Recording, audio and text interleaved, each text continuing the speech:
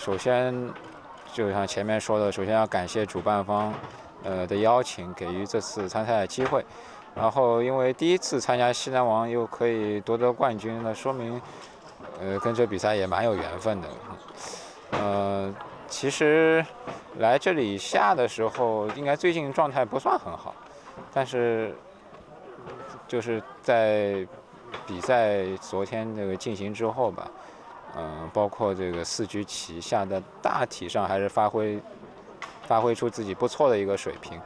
啊，可以说心境也为之一转啊！我想应该是，呃，对我来说肯定是一段愉快的经历。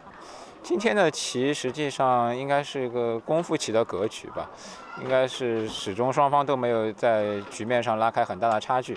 嗯，在中盘阶段的时候，就我自己感觉下的还比较顺调。嗯，然后在右边的这个就关键战役当中，对方应该是有一定的错误，黑棋也。呃，以此获得了胜势吧。虽然说是一个区域限制性的这个赛事，但是基本上已经是成为一个，也是中国围棋比赛中的一个传统的赛事品牌了。嗯，应该我小时候也经常观看这个西南王的这个比赛。嗯，也祝愿西南王能够越办越好，越办越红火吧。啊，谢谢。